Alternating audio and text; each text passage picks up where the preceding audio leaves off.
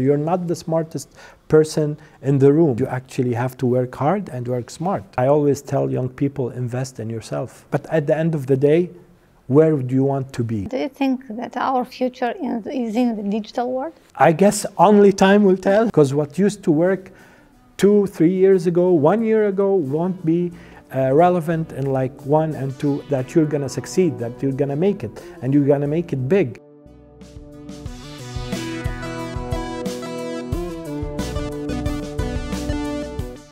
Akram, Yes. let's talk about you. Yeah. You are a startup and uh, startup founder or startup mentor, and you have your own business. What I know about you is that you are a marketing expert. Uh, you are like uh, advocating for um, online safety, and you are a mentor and uh, our friend at Yep Moldova. Yeah. This is what I know about you, and also that you are from Lebanon. Please tell you more mm. information about you. Marhaba, I would say, uh, mm -hmm. which is hello in Arabic. Uh, marhaba, and it's a pleasure to be here in Moldova, in Chisinau, and at ArtCore. Uh, as you mentioned, I'm, I have like two hats that I wear that has to do with digital communication and uh, online safety.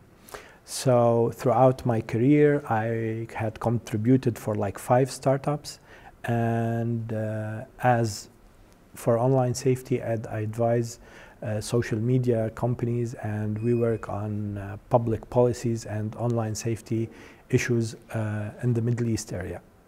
So I have started like uh, after my graduation from law and uh, this is how the past started and everything they say happens for a reason right? So you would say what brings a lawyer from law to uh, digital communication and when you connect the dots in your life uh, it leads you the past would lead you somewhere and when you start figuring out what you want to do uh, you know that the, the path's gonna take you where your passion is. And actually, my passion was for innovation and creativity, and this is how I got to uh, digital communication. And here I am in uh, Moldova, in Chisinau, at ArtCore.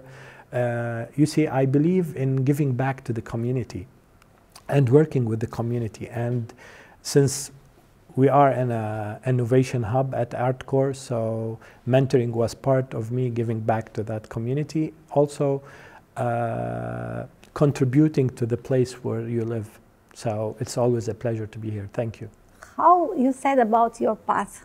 How you understand what is your path? How you understand what you are good at?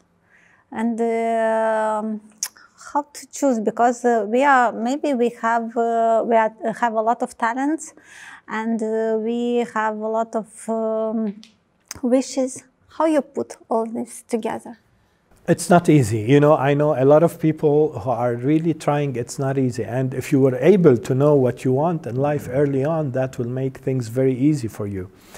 Basically, I would take it back to trial, to trial and error. I'll take it back to knowing what you really want. And this is something that sparks from failure, from experiment, from uh, experience in life. And this is something that you build on and on and on as you uh, uh, walk the life, uh, your life. And this is something that's really interesting in terms of failure, right? So, and I know something that uh, nobody would like to talk about because, you know, we live in a society that is where winning is everything. So, yes, you start you by. have to be the best. You exactly, exactly, successful. exactly. And this is a pressuring culture. One.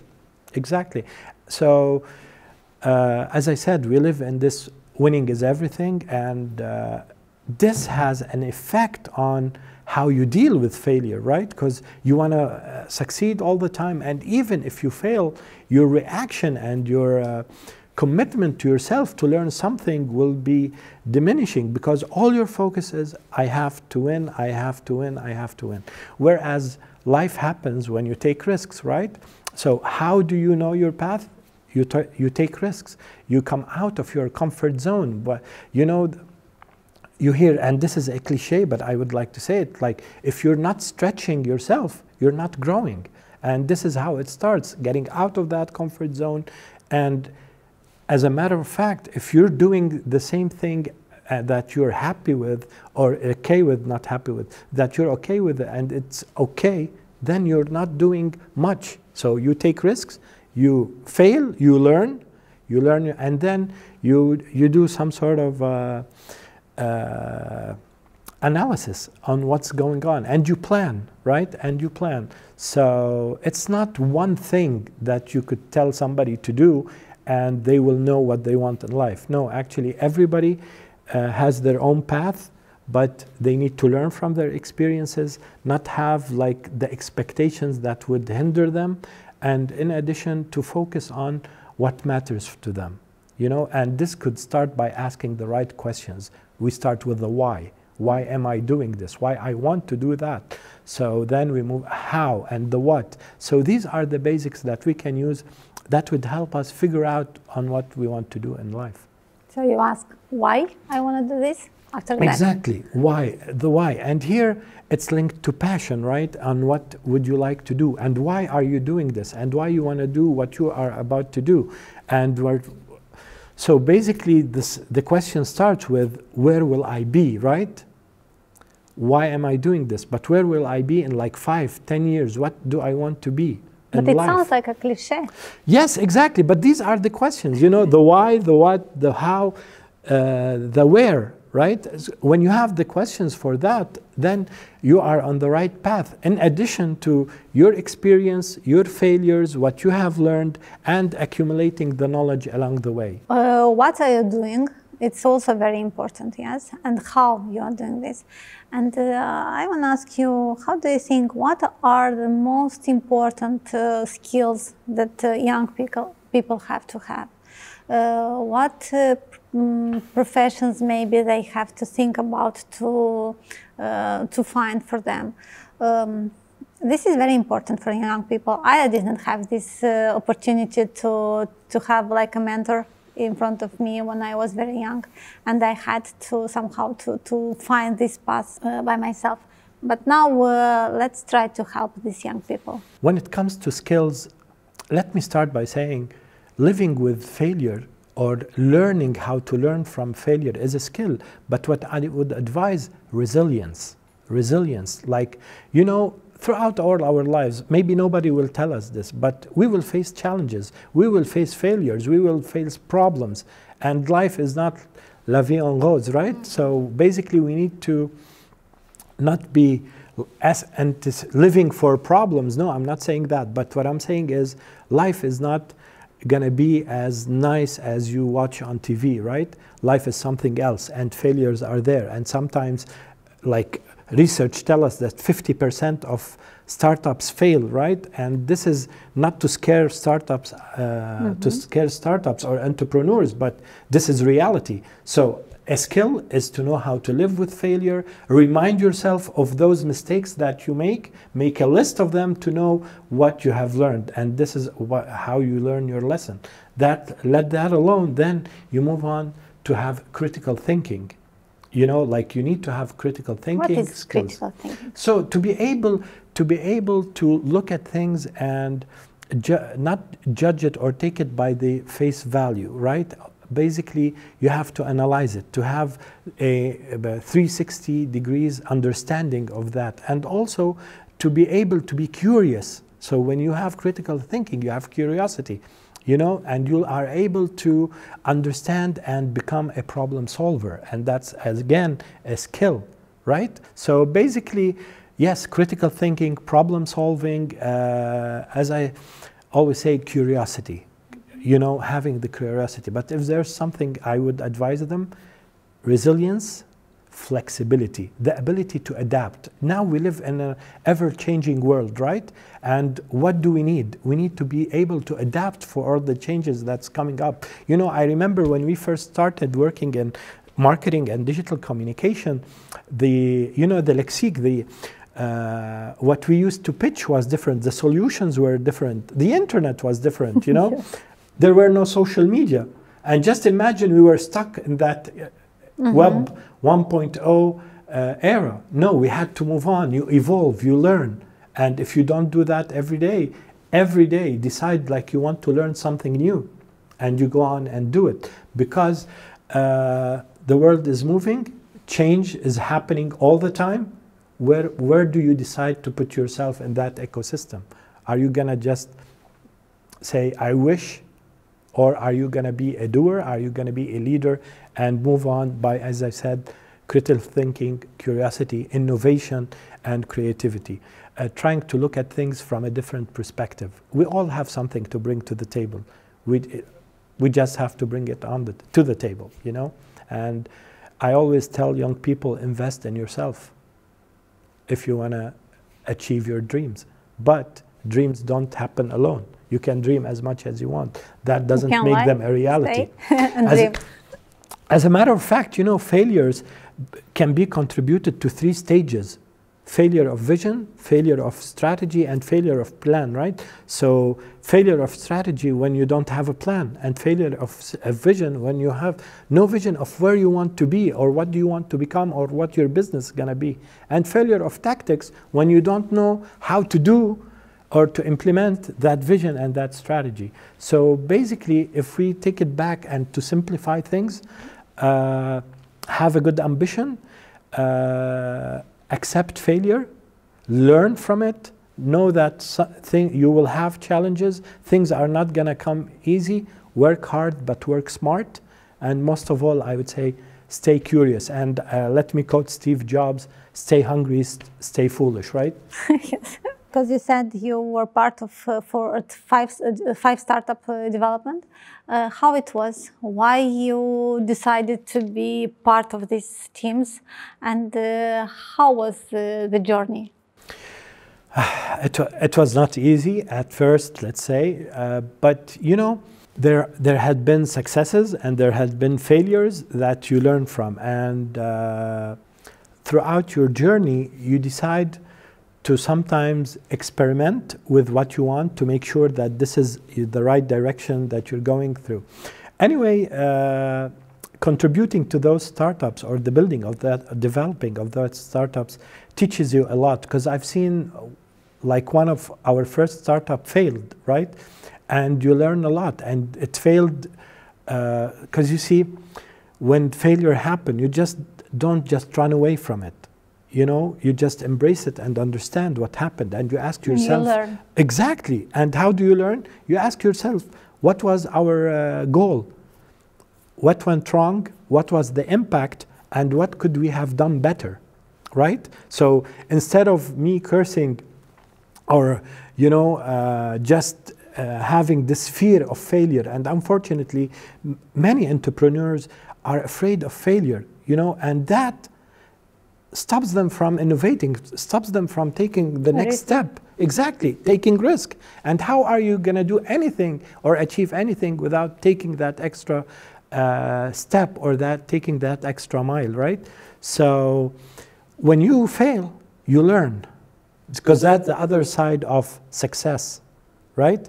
And if we said we want to define failure, I know we're talking a lot about failure, but this is how you learn, right?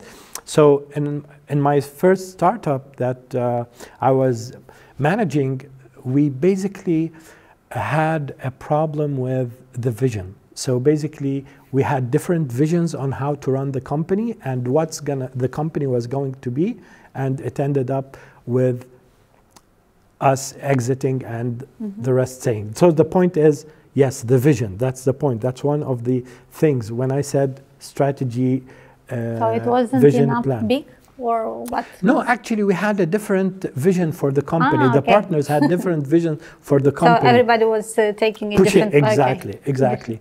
Plus, one of the things that also led to that failure, I think, was the uh, communication part.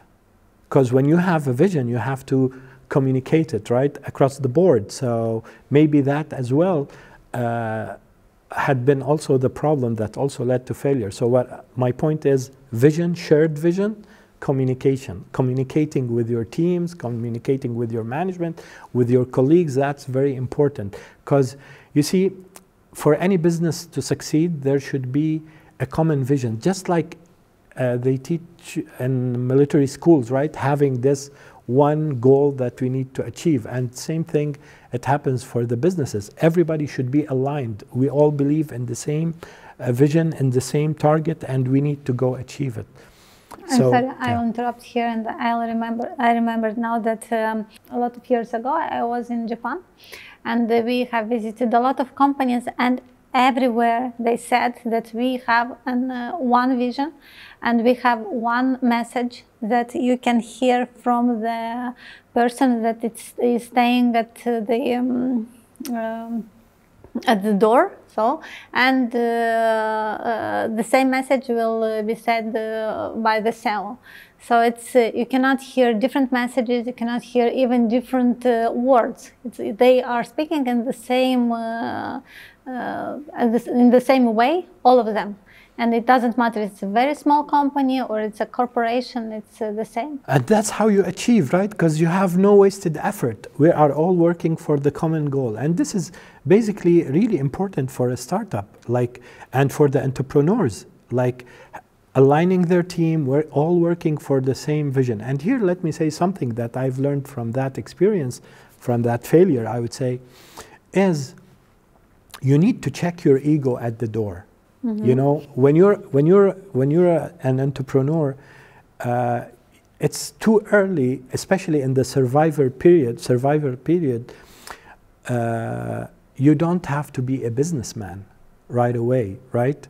You have to be more of a salesman. So you check your ego outside at the door and go in to lead, not force people to do things, but to influence them, to lead them, right? And this is something very important. Like, just imagine, you cannot be a CEO in the first survival period of your startup. You have to be hands-on, hands-on. You should be empowering your team. You should be working with them. Ask how, like for example, and I read this somewhere. Like one of the CEOs, so when he was uh, appointed CEO on a certain level, so he had these perks, right? So he goes up and the elevator, nobody is allowed to come in. So he stopped communicating with uh, the teams throughout the company, right? And then he found out that he wasn't talking to their teams. And one of the important things we, when we talk to entrepreneurs, ask your teams, how can we make this better? You know, again, back to the why and how and what and where, right? These are the basics that we always advise. And this is one of the things that I've learned. Yes, check your ego outside. Know that you are not and the top performer. You're not the smartest person in the room, you know, at least not in everything. I'm do not, and here I should say, do not mistake an ego for confidence. No, you should be confident, confident that you're going to succeed, that you're going to make it, and you're going to make it big. But ego is something else. But don't and forget about humility, yes? Exactly, of course, of course. And here, a good leader is a team player, right? And that's what employees want. That's how you create loyalty. And this is something that I've learned from that experience, from that failure, that yes, you need to lead, not force people to do things. Because loyalty is something really important. And I was talking about, I, I should go back to the vision part that we mentioned. I was talking about flexibility again, that it's not like you put one vision and that's it. Because everything is changing around you. Technology, depending on what field you are working in, but everything is changing. Even your clients are changing. So you cannot stick to one thing and say, that's it. As I said, things keep evolving. And about uh, the changing uh, and everything changes, uh, we are in the COVID situation now. Hopefully, maybe soon we will, it will end. But uh, during two years, I think we had one of the biggest uh, progress in a lot of different sectors. Uh, what about uh, marketing and digital marketing? I know that trends are changing every week, I think.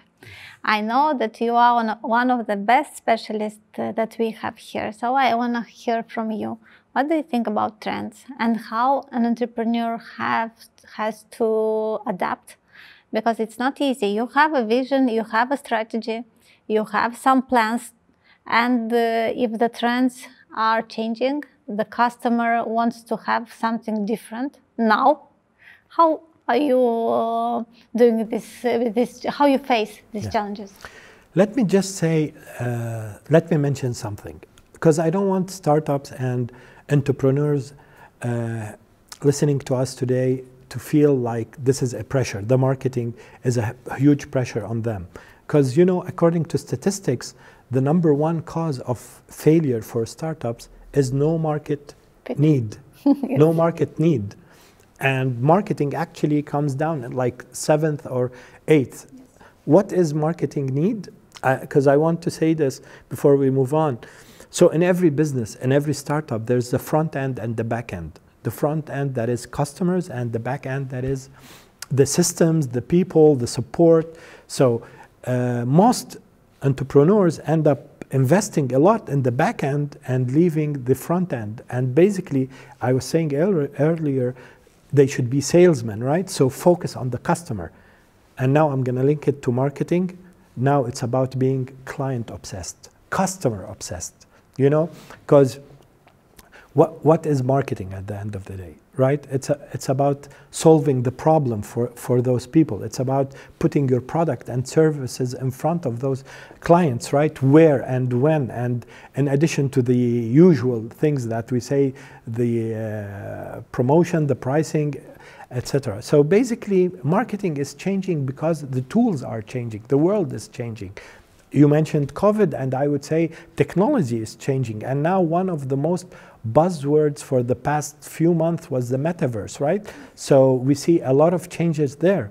And we have seen how the B2B and B2C uh, marketing solutions are like getting closer and mixing with each other. And this is something, the, the line is disappearing. Why? Because the metaverse is creating a new opportunities for marketing. And this is, uh, now it's still a concept, right? But eventually, we're if we're heading that way, just imagine that this shared uh, virtual reality will allow consumers to dictate what they want from their brands. So it's no longer actually about the products. And I would give you an example. Think how NFTs and clothes, like people in the metaverse, would like to make their own clothes. And how is that going to affect branding for uh, in the retail fashion, right? And the need for them to reinvent their marketing solutions because what used to work two, three years ago, one year ago won't be uh, relevant in like one and two. Again,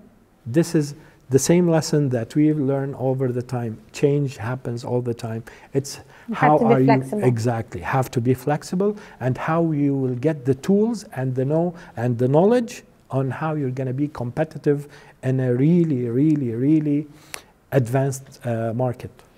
You know, uh, Akram, when I uh, used to work in a um, uh, state organization uh, for SME development, we were talking about the uh, SMEs that they are small and they are very flexible. in an ideal world is like this. In uh, Moldova, it's not all the time because you have some processes, you have some credits, you have some clients that you have to um, you have to work with. But uh, uh, how do you see how, in general, startups and uh, small companies have to be prepared for this change? How they understand that these are the trends? Uh, because you have to combine somehow your acti- now activities, the present activity, and how you'll do it in the future. Yeah.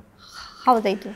As I as I mentioned, the front end, right? Because it's all linked to the customers. And when I mentioned the number one cause of failure is no market need, what does require, and how can you overcome these all of this. Market research, you should do research, market research. Uh, clients, you need to understand your clients, create personas. Uh, and this is something that would help you understand what's coming on. And most importantly, to stay at, up to date with the latest advancement in the field that you are in. You're working, you cannot settle for, for what you used to know. Where is uh, BlackBerry now? Where is Nokia now? Versus Apple, right? Yes. Uh, the Apple iPhone from Apple, right? So basically, you need to always try to, as I said, invest in yourself and in your company. Curiosity. You cannot settle. You know, you cannot settle. You know, they say one person doesn't make mistake in life, the one who does nothing. Yes. And you cannot afford, if you're in the business, you can't afford to be that. Because if you're in your heyday today, where are you going to be tomorrow? Right? So that's why you need to keep investing in research, gaining knowledge, hiring the right people, you know, and uh, aligning all the different ecosystems in your uh, business model. And that's something that is really essential. That's really essential. You can solve it, as I said, by research and understanding the market, what your clients needs, working on, uh, as I said, taking risks and exploring new opportunities. And sometimes that would requires going out of your Building. comfort zone and your market, Get your out of the local market. you know, and like really, like you cannot just expect things to come to you. That maybe happens in movies, but in real life, you have to work for them. And you actually have to work hard and work smart.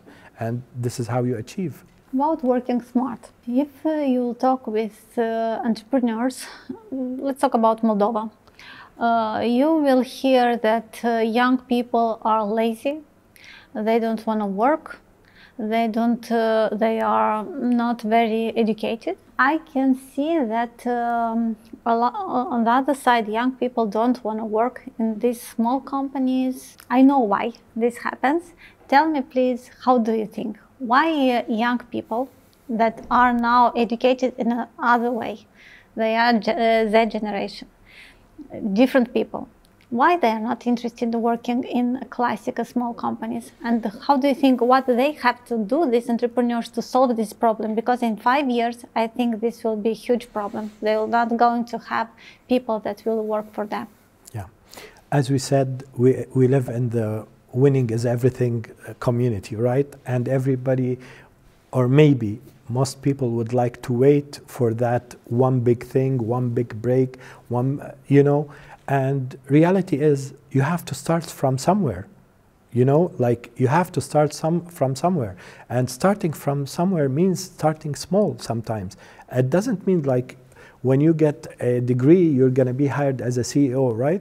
You have to start from because, you know, back in the days, uh, going up in an organization meant you have to start from the bottom. You have to work in sales to understand your product, which basically means you, you really need to start somewhere. And if you are a fresh graduate, or even if, you, if you're like uh, trying to make a business, you have to start somewhere. And how do you grow your network? You start from a company, even if a small company. You have to gain knowledge, you have to gain experience. How do you do that? You have to start somewhere. Where is that? Sometimes it is a startup. And let me say something startups are the backbone of any economy. So if we do not invest our time uh, with in that ecosystem, if I don't start somewhere, where would I lead? Where what would I become? Wait, what if that one big thing didn't happen? So I wasted my time. And you know the number one commodity in life, and the most expensive one, is time. And we cannot afford to lose it. So versus gaining knowledge, gaining experience, failing, learning from my failures, building a network, building my knowledge, understanding the market, I decide to do nothing. No, I prefer to start somewhere. And of course, I advise them to, you see, it's a mindset and it's a culture. But at the end of the day, where do you want to be? Where, what do you want to achieve? Again, to the why. Why are we doing this? Why, why do I want to become an entrepreneur? What's my passion? You know, and I would like to say something. You know, a cave with 1,000 years of darkness can be lightened by one candle in one second, right? So that's that's your one step. That's your first step that you need to take. And I think we owe it to ourselves, and young people owe it to themselves and to their communities to take this extra step for a better future. what about the future uh, do you think that our future in, is in the digital world in the online You know, is our uh, future in the metaverse I guess only time will tell. we were talking about the song. So I would just say, you know, uh, definitely the world is changing. And I think we are now on, on, a, on a transition, in a transition period where AI is going to kick in, uh, machine learning, uh, VR, you know, the metaverse as well. like you feel technology is taking one step ahead and actually it's a leap for what's coming and the way we see new companies or big tech how they are innovating now of what's from drones for uh, from uh, shared virtual uh, worlds all this is telling us yes technology is basically gonna be a big uh, aspect of our future basically providing us with more tools, building more environments where humans supposedly uh, gonna be achieving their full potential. But the th question is gonna be, where are we gonna be in that environment? Because what you see, this we had learned throughout history. Throughout, what did history teach us? Whenever, whenever technology changes, human habitats will change, our lives will change. I'm talking about since uh, agriculture started, since uh, humans started uh, hunting for food, right? This, this, whenever we had new tools, whenever we had new technologies, our lives changed. The industrial revolution, the internet, and think we had Web 1.0, what happened with Web 2.0, social media, big techs, and now we're heading to Web 3. So technology, yes, it's going to be and more and more uh, we will be more immersed in technology and it will be part of our day-to-day life and actually uh, it will build the environments in which we're going to be living in.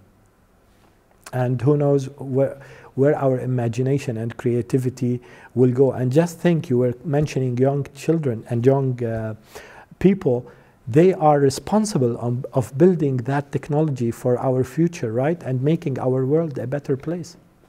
I think that our children now are like people that uh, test all this technology by themselves oh. because they are there. They are in these games, they are in this world, uh, and uh, somehow they learn by doing. And in a couple of years, for sure, they will change somehow because they have they are more fast than uh, we are. Tell me, please, uh, can you consider yourself as a digital nomad? Well, actually. one of the challenges that we were, that I was able to overcome was changing the business model, and that's happened like before the pandemic and around like six years, seven years ago, where I was able to change to transfer transform the business model into a digital one. So uh, I changed the business model of the company in a way that I can operate but it from how it anywhere. Was, how it was before? Basically, it was brick, uh, brick and mortar. So we had an uh, space, an office, we had overheads, and etc. So now it's all project based. It is digital, run digitally. The team and communication, and thanks to technology, uh, that's now is as easy as can be, especially after the pandemic and all the tools that we have at our disposal. And this is something really empowering. Just imagine being able to enjoy different countries and different cities around the world. And your office is basically your uh, your computer no, on island, the laptop. Uh, in the middle of uh, somewhere in the ocean. Exa yes, exactly, exactly. Before coming to Chisinau, uh, we were in Zanzibar, and as you said, it's, it's an island in the Indian Ocean. And just imagine being able to enjoy these different cultures and enjoying uh, learning about people something new every single day and interacting with them while still being able to run your business uh, in your off home office or in your computer or at ArtCore in mm -hmm. Moldova. And if someone is uh, looking at us uh, not that are not in Moldova, uh, would you recommend them to be a digital Moldo uh, digital nomad in ArtCore in, or in general in other hub in Moldova, and why? Well, I would definitely advise them something I'm already doing, right? So yes, of course. Well, I would I should say like the experience so far has been really really positive. People are extremely nice, and you know at ArtCore uh, the infrastructure allows us to uh, deliver what's important for us. Like I'm talking about connectivity, I'm talking about the space, about the environment, the community, and this is something uh, speaks a lot. Like look, where I am here. We are here talking to uh, young people from uh, and entrepreneurs from Moldova and on to see and mentoring uh, before through the YEP uh, program. And this is an opportunity for me. And ArtCore had given me this opportunity to give back to the community where we live. And this is something uh, I'm thankful for. So we are inviting all the people in Moldova Yeah. at least for one week to see what uh, we have here. And uh, also it's very important because you have you bring your own experience as, uh, as digital nomad. And uh, this is so important for us to learn from you uh, to learn from your mistakes uh, from your failures but also from your success. And thank you. Thank you, Akram, for being with us, and uh, hope that we will have uh, a lot of more projects and initiative uh, to, to build together.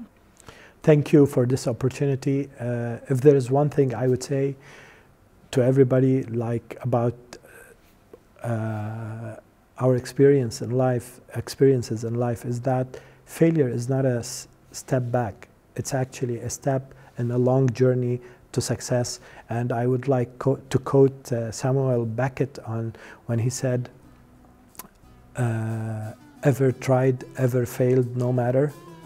Try again, fail again, fail better. All the best, and thank you." Thank you.